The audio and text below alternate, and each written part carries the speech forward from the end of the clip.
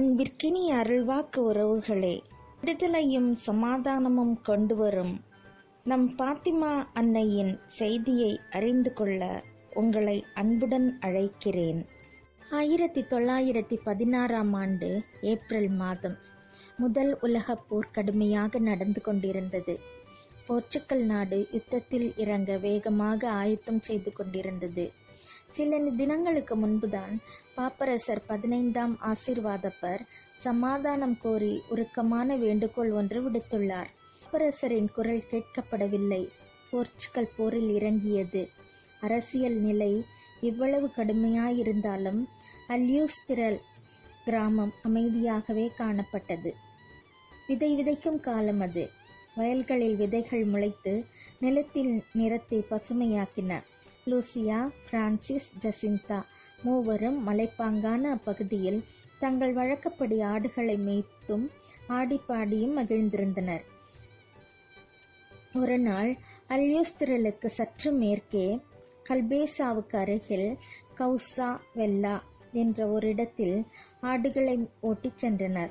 ஆடுகள் புதியதாய் துளிர்த்த புல் நுனிகளை மேய்ந்தன. குழந்தைகள் மூவரும் பற்பல விளையாட்டுகளை விளையாடினர். திடீரென வானம் கருத்து கனத்த மழைக்கு ஆயத்தமாயிற்று.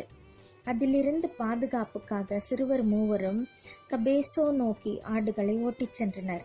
சில மரங்களுக்கு அடியில் அவற்றை நிறுத்திவிட்டு வடக்கிலிருந்து தெற்கே தாழ்வாக உள்ள மலைச்சருவில் சிறு குக்கை போலிருந்த ஒரு இடத்தில் ஒதுங்கி நின்றார்கள் குழந்தைகள்.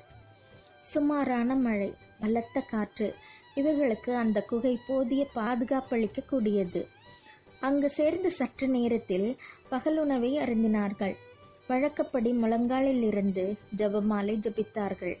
பரலோக அருள்நிறை மந்திரங்களை முழுவதும் சொன்னார்களா? அல்லது குறுகிய மந்திரங்களை அவர்களே குறுக்கிக் கொண்ட முறைப்படி சொன்னார்களா என்பது லூசியாவுக்கு ஞாபகம் இல்லை ஜவமாலை முடியவும் மழைத்தூரல் நின்றது. கதிரவன் ஒளியுடன் காணப்பட்டது. சிறுவர்கள் அங்கு நின்றபடியே கீழேயுள்ள பள்ளத்தாக்கில் கற்களை வீசி எறிந்து விளையாடத் தொடங்கினார்கள். ஒரு சில நிமிடங்களுக்குள் திடீரென ஒரு பலத்த காற்று வீசியது. கீழ்த்திசையில் நின்ற பைன் மரங்களின் உச்சியில் காற்று மோதி வீசியது. அம்மரங்களின் உச்சி கிளைகள் இங்கும் அங்கும் ஆடின. கிளைகள் அசைந்த இரைச்சல் அதிகமாயிற்று.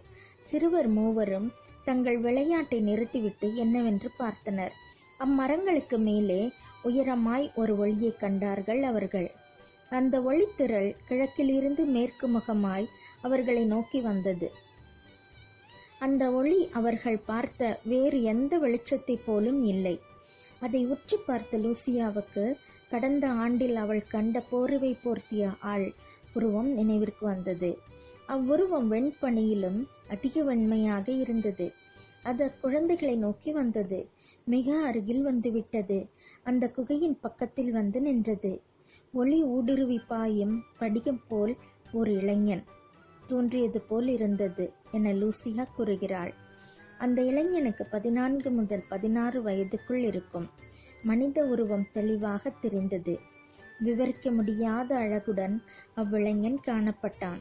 அவனை பார்த்து அப்படியே சிலை போல் நின்றனர் மூவரும். இளைஞன் பேசினான் அஞ்சாதீர்கள் நான் சமாதான தூதன் என்னுடன் ஜெபியுங்கள் என்றான். இவற்றை சொன்னதும் அவ்வானவன் மிழந்தாளிட்டு நெற்றி தரையில் பட பணிந்து என் தேவனே உம்மை விசுவசிக்கிறேன். உம்மை ஆராதிக்கிறேன். உம்மை நம்புகிறேன். உம்மை நேசிக்கிறேன்.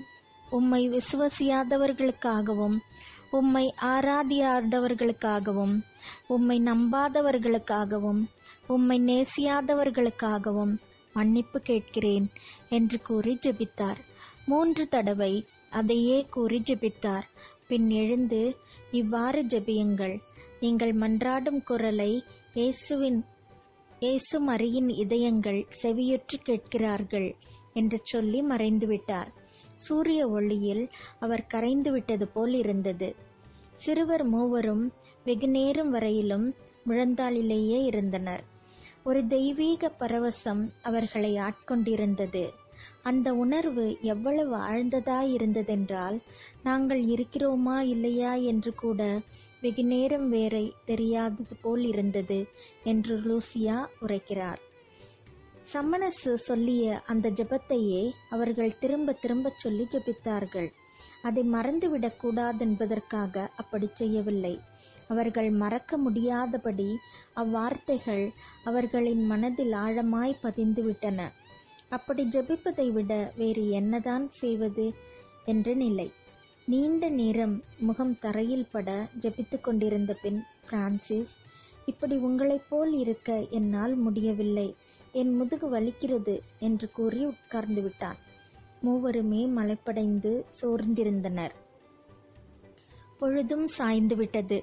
மெதுவாக மூவரும் எழுந்தனர். சிதறி நின்ற ஆடுகளை சேகரித்து கொண்டு அல்யூஸ்திரல் நோக்கிச் சென்றனர். வழியில் அவர்கள் பேசவே இல்லை. ஒருவித மௌனம் அவர்களை ஆட்கொண்டிருந்தது. இது பற்றி வீட்டிலும் அவர்கள் எதுவும் கூறவில்லை. பேசாமல் இருப்பதே சரியானது. இந்நிகழ்ச்சியில் ஒருவித ஐக்கிய அந்யோன்யம் இருந்தது. அது பேசப்படக்கூடிய ஒன்றல்ல. என்று கூறியுள்ளாள் லூசியா. சமாதானத்தின் தூதன். யார் இவர் அதி தூதரான தூய மிக்கேல் சமனஸை சமாதானத்தின் தூதன் என்று திருச்சபை அழைக்கிறது. அவரே ஆதியில் பரலோகத்தில் ஆங்காரக் கொண்டெழுந்த லூசிஃபரை வெளியேற்றி அமைதியை நிலைநாட்டியவர். உலக முடிவில் சாத்தானை நிச்சயமாய் நரகத்தில் தள்ளுபவரும் அவரே என காட்சியாகமத்தில் காண்கிறோம். இந்த தூதன் இந்த முறை மட்டுமல்ல மீண்டும் இரண்டு முறைகள் அக்குழந்தைகளுக்கு காட்சி தந்தார். இந்த தூதுரையை அறிந்து கொள்ளுவதற்கு உதவும் அருள்வாக்கு இணையத்துடன் இணைந்து மகிழ்வோம். இறையன்பில் வளர்வோம். நன்றி வணக்கம்.